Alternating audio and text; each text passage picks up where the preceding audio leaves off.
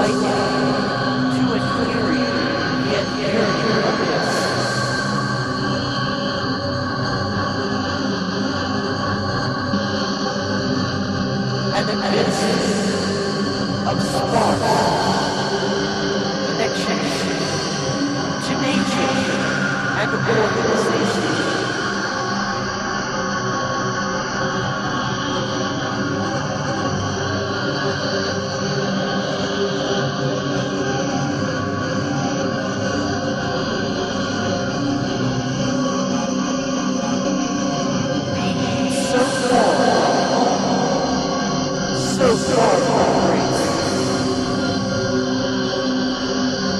in which nothing is obliterated,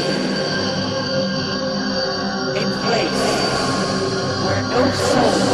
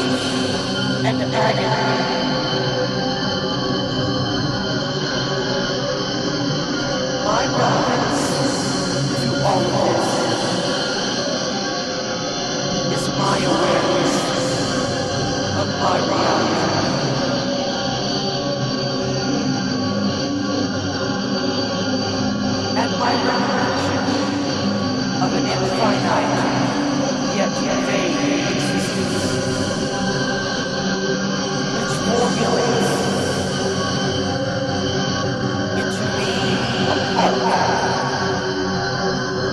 and suffering.